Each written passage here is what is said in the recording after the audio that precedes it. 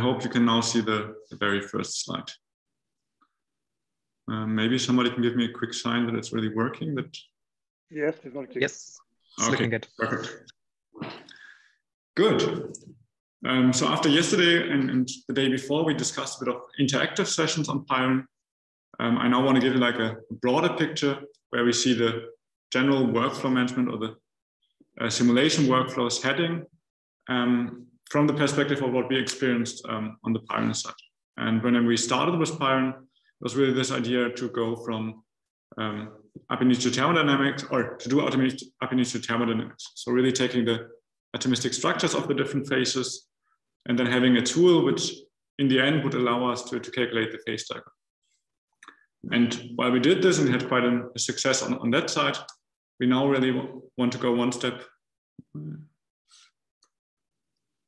sorry, one step beyond and really see, okay, where can we use the same principles that we now developed to get from the atomistic structure to the phase diagram and extend them and maybe find a more general basis um, for material science in, in, general and where the, the same principles can be applied. And as the most common slide and that we already seen several times in this workshop is really this kind of multi-scale slide. So we see the starting from, from the um, electronic structure, then the atomistic structures, crystal plasticity, segregation, and so on. We always increase in time scale and also length scale. And that's really what we ultimately try to achieve.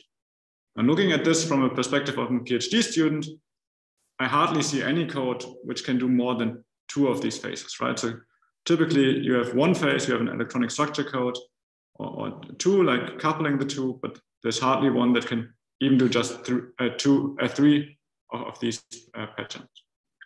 What we see more commonly is really that we have for each of these dimensions or length scales, we need to do, use a totally different code, right? So on the DFT side, on our side, they're primarily VASP, but you could also use Quantum Espresso or any other DFT code. Then for molecular dynamics, it's commonly uh, LAMMPS in our community. And then crystal plasticity would be something like Damask. So we really, in the field, really have this challenge of coupling existing codes, right? So you can't, there's not a single multi-scale simulation code, but there's really this challenge. How can we couple the existing codes and, and combine them? And so that's really what we now try to address with, with pyiron. And when we think about it and think about the challenges that we face when we try to, to couple existing codes, um, I want to take a, a, step back and really look at it from a perspective of a PhD student. So I think you get a student and you give him the task, okay, write a code which couples the electronic structure code to an MD code and then uses the MD code to calculate results for crystal plasticity, really to have a pipeline connecting the three. And the challenge for the PhD code not really starts on the conceptual level, but really on this fundamental technical level. So how do I get the source code, right? So maybe the code is, freely available. I guess it's now the case for, for most of them, but maybe you also have to just find the site. Maybe there are certain patches that you need to figure out. Um, how do I install the required dependencies? So that's accessing the, the supercomputer, figuring out what, what kind of system is configured there, and then also how to compile the software. And talking a bit more about the compilation, even if you look at codes like VASP, so, so commercial codes, um, they all say, okay, it's, it's easy to compile our code. You just copy the, the make file, rename it, and then you call make all. There's just one small issue with this, and this is you should take the one that most uh, reflects your system most closely, right? So that it would be nice if it really works, but as a PhD student, commonly I have no idea what reflects my system. And I, am pretty sure that the VASP developers can definitely help you to do it. Um, there's definitely support for this. Um, but in particular for the open source projects, you're usually left with reading the, the installation documentation. And just the installation alone, so I looked it up. Um, for VASP, these are 19 pages. For LAMMPS, there are a lot of different plugins available. In total, you end up at something like 50 pages. And then for Damask, it would be 14 pages. So that's easily um, close to, or let's say 85 pages that you have to read just to, to get an understanding, okay, what are the requirements, what kind of codes or compilers or, dependencies do I need to install all the three packages on my system, right? So how can I combine them and put them together? And this gets even more complex when we now try to combine even more codes. And so for the students, that's definitely the first challenge, right? So how do I get compiled, compile the software and how do I just get started to run it on my system? That's usually already a, uh, a showstopper and many people never even try a new software. They, they just use the software that was already used in the group. And I guess we, we all can agree that that's not the, the most efficient way, right? So the student should have the ability to at least try different software packages and then find the one that's most um, suitable for, for their problem or, or their challenge. But then in case they already found the code, there, there's even more questions, right? So how do I run the code? What are input templates? We commonly find them on, on the documentation. You also need to learn about the, the queuing system. So how do I submit the code? Um, are there special things I, have to take care of? And then the data storage. And I think the data storage one is, is what we found to, to be one of the cases where it's not an issue until it's too late, right? So when you start, you do a few calculation, data storage is always easy. But then when your number of calculation grows, it becomes more difficult. And just to, to show this, I, I want to take you roughly five years back. So when I, I did my master thesis and I looked it up uh, and see how, how did I structure my data there, right? So here you can see, see my folder structure that I used there.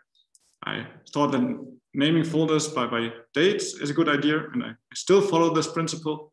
But then in these folders, I thought I, I want to automate everything. So I wrote small shell scripts. Obviously, those shell scripts require very specific environment variables to be set. So there's basically no chance that anybody other than me could execute them or that I could execute them on any other system. There's basically no reproducibility, even though that was a, the aim that I had initially. And then I wrote um, Excel sheets with the data that I analyzed.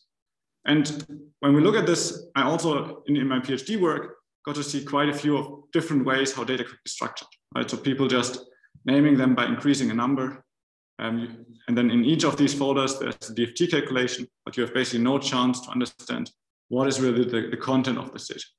So this data storage and data management is really like a big issue um, whenever we come to, to upscaling calculations and, and, try to build this kind of larger setups. And that's typically also the case when we want to bridge the different scales.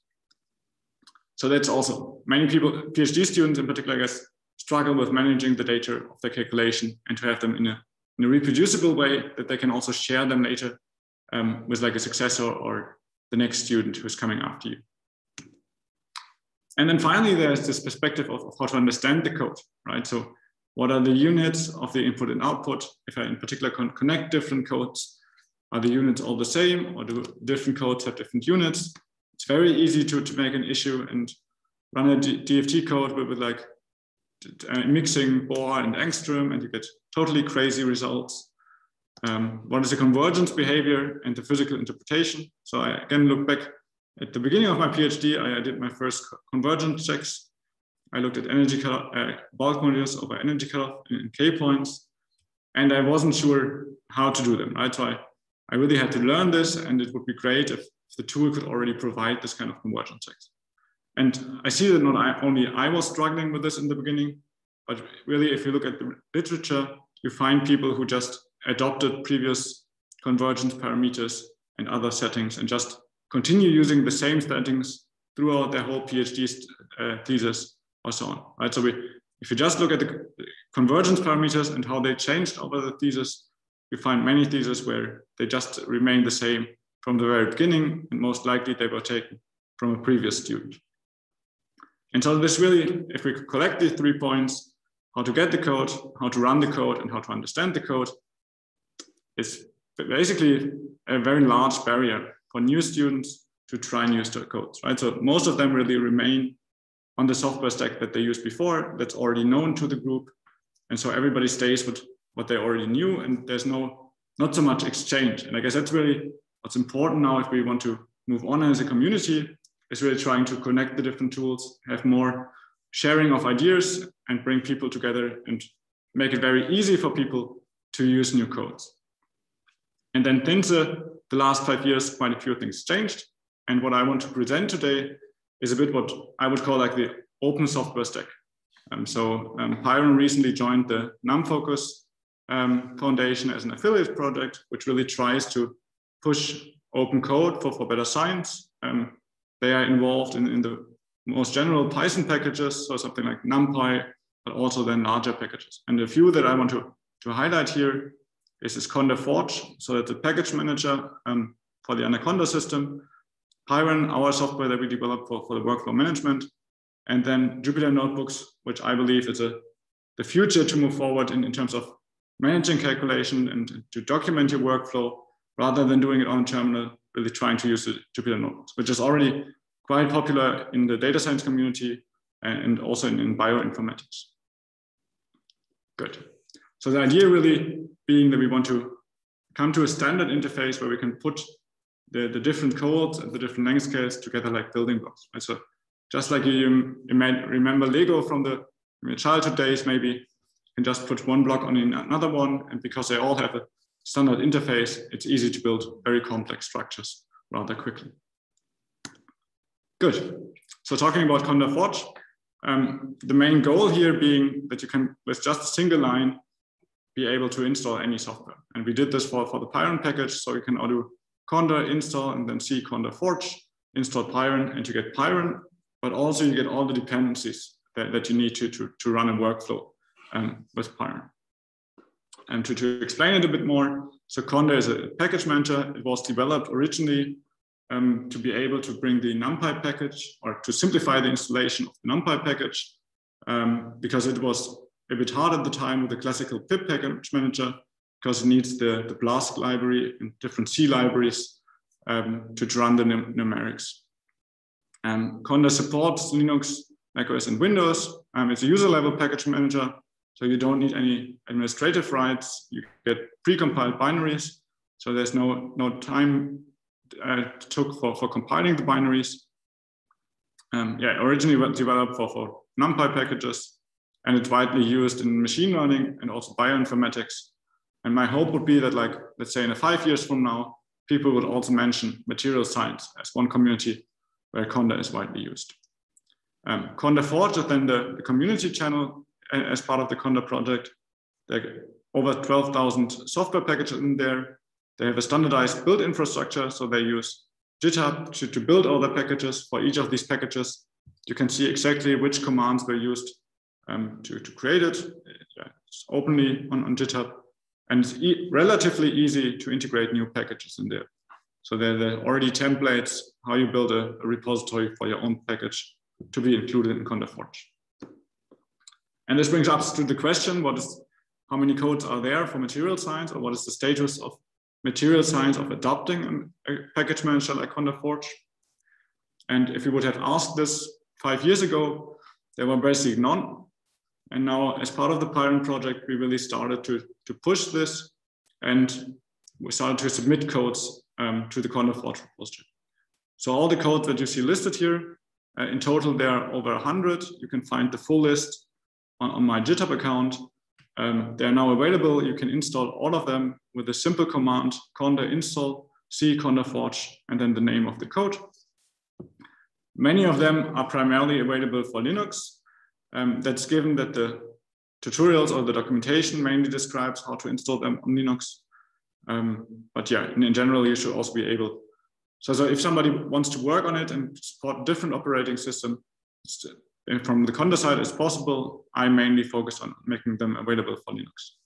And so you find here codes like the DFT code, so it's Quantum Espresso, um, SPHInX, our in-house DFT code. Obviously, we can't create a package for VASP because that's a commercial license, but all the open source codes um, can be made available. Many packages like pymatgen, pyiron that I already mentioned, um, Phono3Py or PhonoPy, um, another DFT code, so CP2K, Siesta, um, and then also MD codes like Jaff, uh, ModMole, different kind of pseudo uh, potentials for, for the fitting process, so, so the runner, the neural network potentials, and many more cluster expansion codes like ICET and CLEASE. And the other part is where we, we tried for the packages that are available, uh, like the LAMMPS package here, we try to include as many plugins as possible. Right? So we have the OpenKIM plugin, the Moment Tensor potentials, QUIP potentials, ACE potentials, neural network potentials to really have like an executable which is widely usable um, for all different kind of applications. And it's important to mention that these executables are not as fast if you compile them locally on your HPC cluster. But the idea is really that if you have a Conda executable, it should allow you to try the code, get started, get a feeling, okay, does this code solve my problem? And once you see that the code solves your problem, that is exactly what you looking, have been looking for, then spend the time to compile an optimized version on your system, right? So the, it's really this first step of, okay, I want to try a new code and I want to see if this code is reasonable for, for my, my topic and what I'm interested in. I want to give it a try. And this step should be very easy, right? So once I decide, okay, I want to use this code and this is the one that I need, then I can spend the time, compile the code locally and get this, this last bit of performance. To talk about the performance difference, from our experience, is roughly a factor two to three. So Conda compiles software package to be, be compatible for um, the last 10 or CPU infrastructure from the last 10 years so that the executable can be executed on all CPUs from the last 10 years. But now if you have a, one of the latest CPUs, you could be a bit faster, which can be like this factor two or three if you compile explicitly optimized for your CPU infrastructure. Good. So we now really have a, a wide range of tools for material science available, um, simulation code, as, as, well as additional tools that you need to, to plug workflows together. And this really now addresses already the, the first point. So it should now be easy to get the code. It's just a single line, and there should be no reason why not to try a different code. Um, so let me focus on, on the, the other two aspects. So how to run the code and then how to, to understand the output. And that's really what we, we try to achieve with pyiron. So once the, the code is installed, what we try to do is to separate the part that's required from the user from the, from the technical implementation part. So let's say the user, we can do it for the example of fitting a new interatomic potential. The user might have an idea. Maybe I want to, this could be the shape of the potential, what I, I want to try, my, my project. And I define a model here. Then from this model, I define a project. The project would be, okay, what are the kind of calculations I want to execute? And I define this calculation in terms of like a generic input. So what kind of structures do I want to calculate? What kind of convergence parameters and, and so on.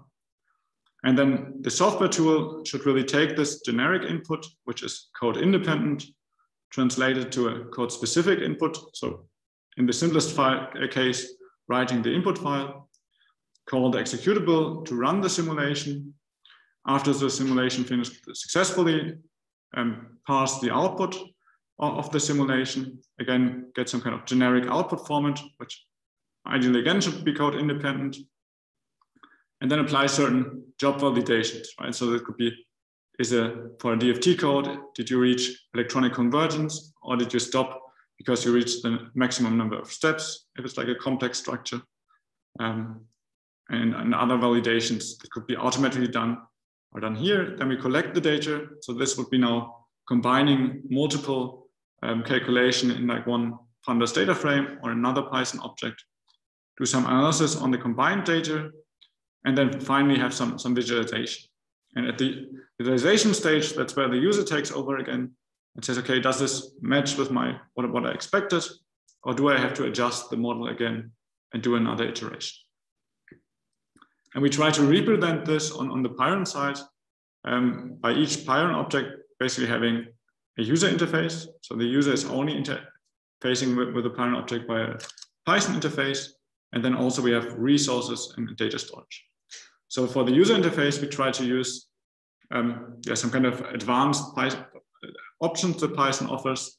So we have operator overloading, so you can add two pyiron objects together just to, we try really to make it feel as natural as other Python objects. So if you're already familiar with NumPy, um, it should be very easy to, to get started with pyiron. Um, also factoring so that you can use one object to create other objects of other classes. Um, this might sound a bit abstract now. I will show an, an example in a, in a, few seconds. Um, yeah, then the, the, pyiron object, it can also have other objects nested in them. Um, it can also be connected to, to resources. So this could be your computer cluster. So then the, pyiron object communicates with this. There's no need for the user to, leave the Jupyter notebook to submit the calculation, but it can all be done from within the Jupyter notebook.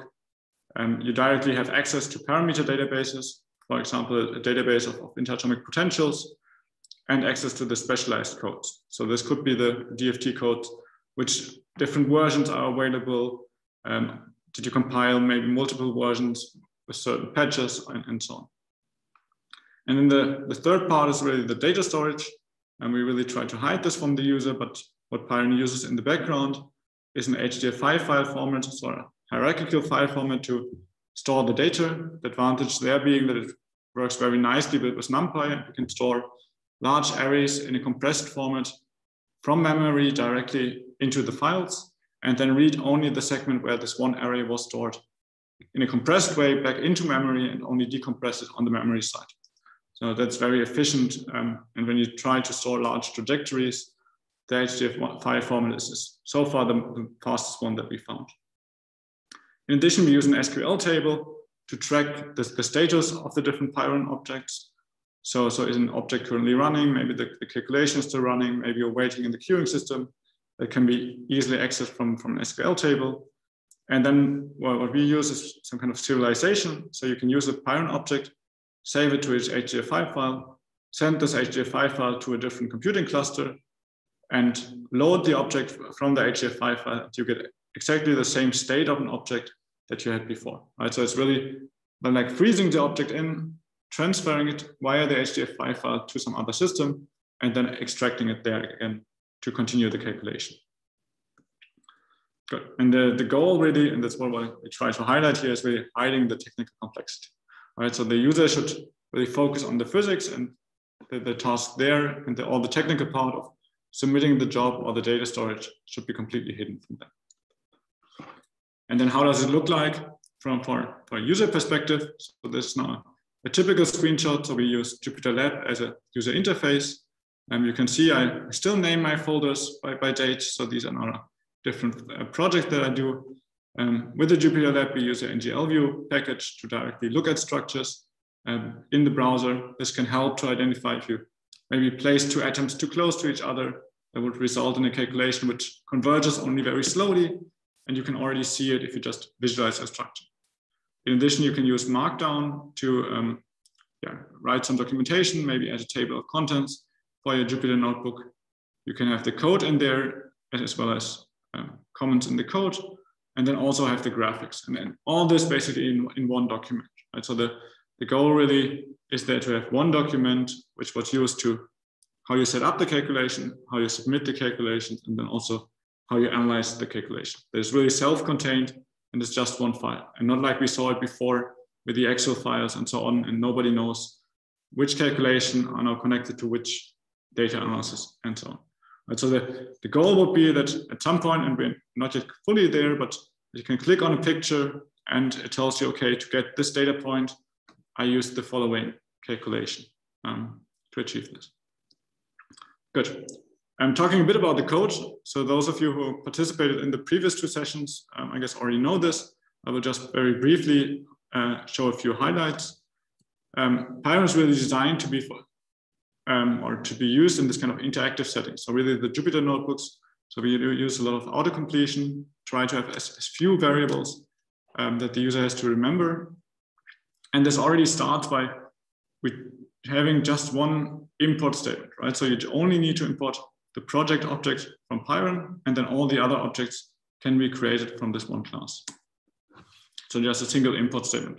We then create the project. The project can be thought of like a folder we can then use the project object in a factoring pattern. So we use project object here to create a job object. So in this case, a, a calculation. Again, wherever there's a dot, I can just use tab completion to get the selection of values that I can choose from. And I give my a, a job name. So this I get my job object. And then the same applies to access um, the ASE library and, and get the, bulk structure from, from ASE to be used as a structure for our calculation. Um, pyiron also interfaces to, to resource databases. So in this case, it's, it's a LAMMPS calculation. So we want the interatomic potential. Um, so we access the NIST database and the OpenKIM database, or more particular, we already have them stored. So they provide now a Conda package where all the potentials are included. and you can get a, a, full list of the potentials, and then you can either copy just the name of the potential or say, I just want the, the first entry from this list. Right? So it's very easy to access the database. Previously, this would mean, okay, you have to search on the web, download the file, figure out again, okay, what are the commands to load the file for a specific code. We have to change something in my input scripts. Now it's as easy as just selecting the name of the potential that you want. And we can also switch to, to parallel execution. So if you have an, if your code supports MPI, you can just increase the number of cores and switch to, to the code to be running run in parallel. The same goes for the queuing system. So you could the job every job object has a server part, and there you could specify a queue, a runtime, memory limits, and so on. And then finally, you can easily submit it just calling the run method, and we provide already a large set of, of defaults um, to, to start your calculations so that you only, in this case, it would be just a static calculation of the Spark structure. Um, and then we automatically take care of all the storage and, and data parts. So if you execute the same steps again, instead of running the calculation again, it would just reload the calculation and say, okay, I already did this calculation. Here's the result. Good. So what I, I try to highlight here is really that when developing pyiron, we, we try to design it for this interactive development, try to design it explicitly for, for the Jupyter notebooks and, and Jupyter Lab, and try for every class to really have a, a representation um, that works nicely with Jupyter notebooks and Jupyter Lab. Good. Um, going a bit beyond this, um, we can also implement new codes. So it gets a bit more complicated, but in principle, all you need is a write input and a collect output function. And we implement a template job class and derive our new toy job here from this template class. We define an input, and in this case, that the toy job just has a single input, but this could be more complex. You could define the default values here. We can define an executable. Here I just call the shell command cat on the input file and pass it over to the output file. We have a script to write this input file and then a script to, to collect the output, read all the lines, convert it again into a float, and store it in the HDF5 file.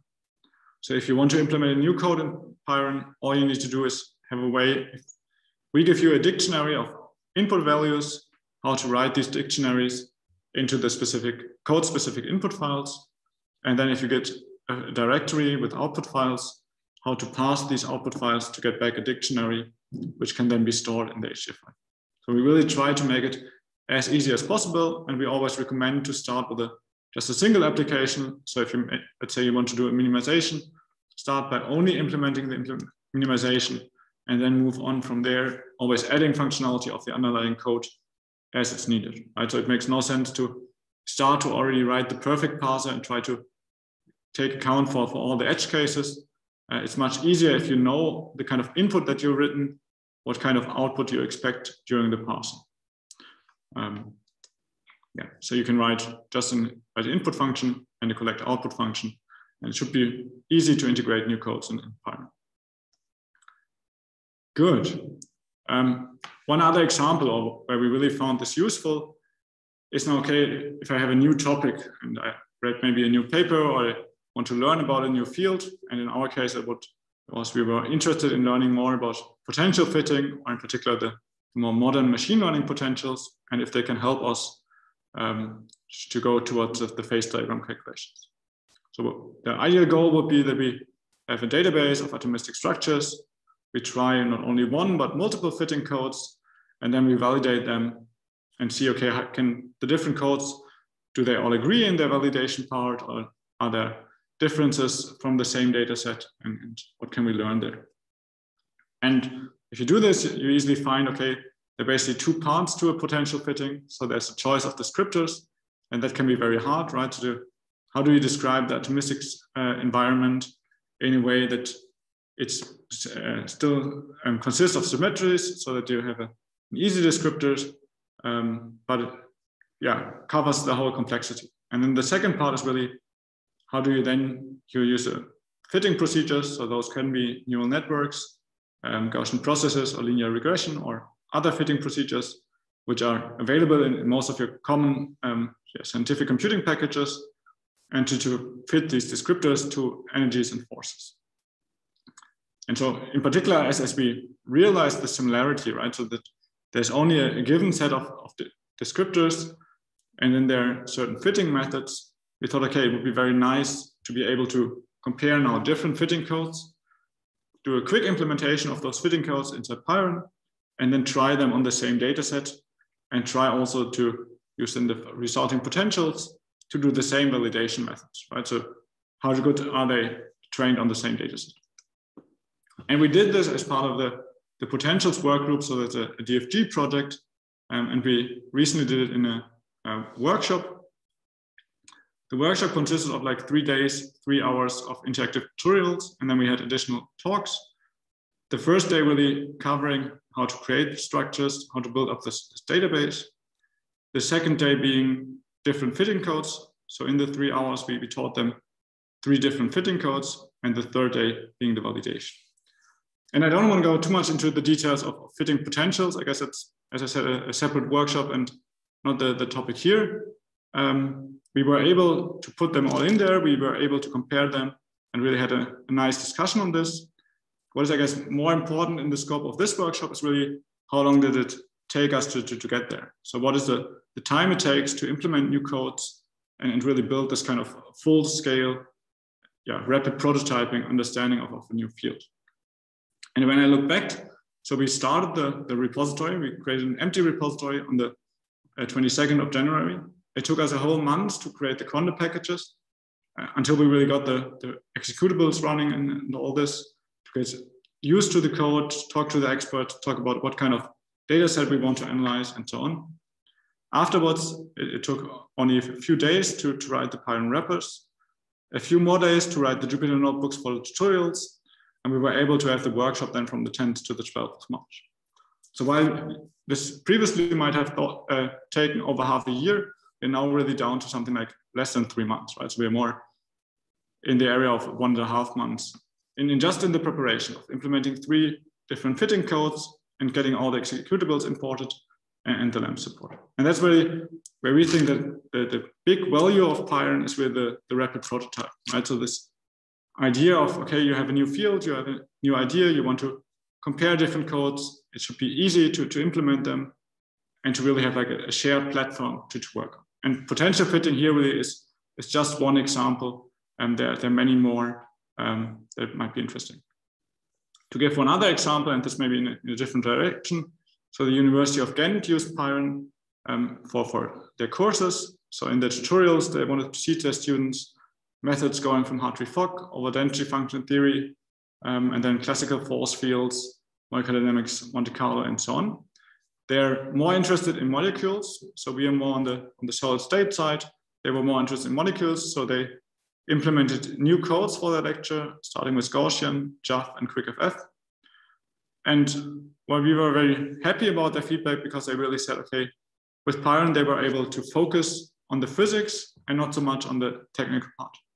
And if you think about this in, in terms of like the lecture setting, you have students that maybe never used the terminal in an extensive way, that never really worked on the kind of larger data analysis. So having a tool and they just having to focus on the Jupyter notebook really simplified this, this lecture part and, and made it a lot more accessible for the students and they learned more. So that's also another application we want to highlight, just how pyiron can be used for lectures and, and student exercise. Good. Um, the last few minutes, I want to briefly talk about the pyiron community.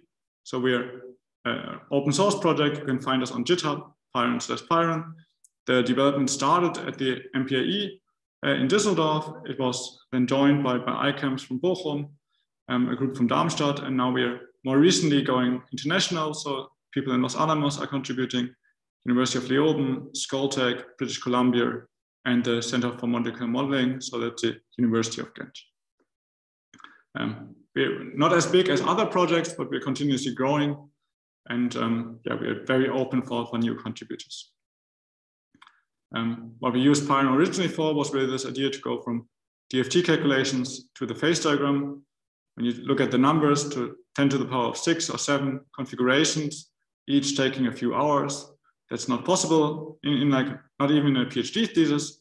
So that's not a possible route. What we did instead, we used interatomic potentials, and then the fitting and the, the quick calculations to, to evaluate these structures with the same precision.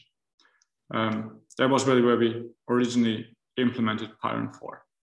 Um, maybe I jump now a little bit so we have a bit more time for discussion as well. Uh, there's one more slide I would like to show. Yeah. Okay, so so I go go to this point. Um, the the goal here really being well, how can you then, if you if you have done your workflow with pyiron and you have created the Jupyter notebook, how can we then publish it? Um, what we implement is very very high level interface for for two for people who don't want to understand the physics. For example, uh, if you think about melting point calculations, they only give us the potential file and a small JSON file describing everything. Then we have a framework which can execute the Jupyter notebook, which contains all the physics. It uses pyiron internally to, to run the data and uses Conda to install the dependencies. And then the more advanced user can really start on, on the Jupyter notebook level, work on the physics side without having to take care of the, the technical implementation. Um, so that's really the, the goal that we really try to establish the Jupyter notebooks in combination of the Conda environment as like a way to, to published uh, workflows. And, and to, we see it really as a way forward, right? And this can be done with pyiron and pyiron is really designed to do it, but you can also publish Jupyter notebooks in Conda environments for, for any other kind of workflow um, software. And then more recently, and this is what I guess is, is current work in progress, um, we joined the Materials Digital project. So there's a German project um, where we try really to bring workflows also to industry.